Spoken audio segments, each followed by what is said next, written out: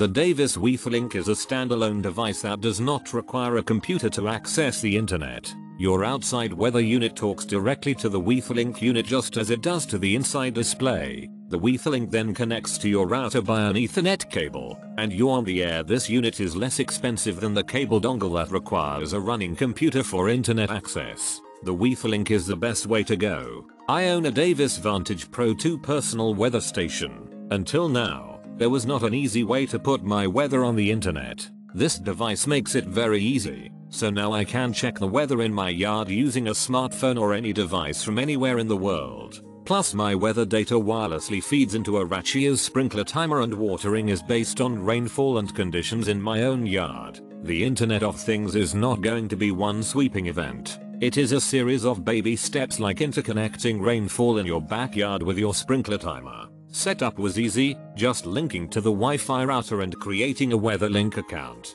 Basic account is just that, pretty basic. To look at historical data the account needs to be updated. This costs a little less than $50 a year. The iOS app used to display the data is Spartan. The WeatherLink website has a much more user-friendly presentation is in color and has some interesting graph presentation especially for wind data WeatherLink only uploads to the WeatherLink site. If you upload to Weather Underground or Ambient Weather you will need to use some other system such as Meteobridge and the Davis Data Logger.